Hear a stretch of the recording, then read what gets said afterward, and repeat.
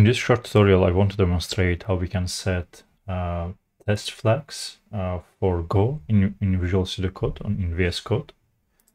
Uh, before, let me demonstrate what I mean.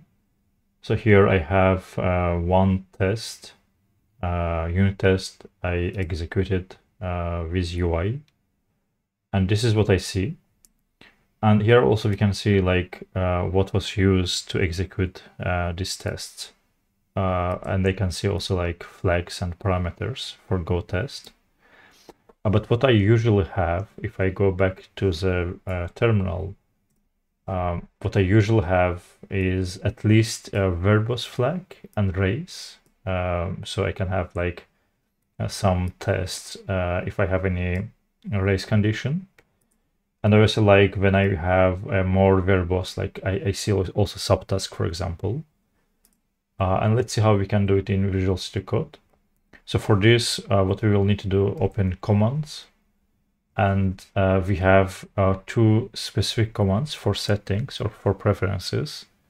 You can also type some preferences, open settings, and we have two options, UI or JSON. Uh, we can start with UI, uh, it's, it's a bit easier. So you can search for Go specific settings in this case is a go test. Uh, let's close this part. And if you scroll down, you will see um, at some point go test flags. This is what we need.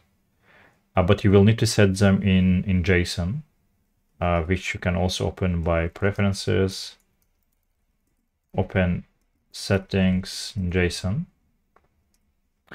Uh, and here we will need to add, uh, you can see I already have uh, some tests, like some, some settings. Uh, and let's extend this and add um, test flags. Uh, if you don't know name, you can also copy it uh, here. I will copy it as a JSON. move back to the settings. Let's include it here. this is array. so I think actually uh, if I do this, it will show you help.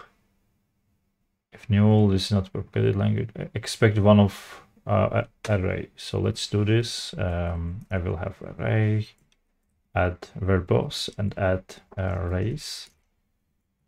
Um, and let's execute this test again from UI this time.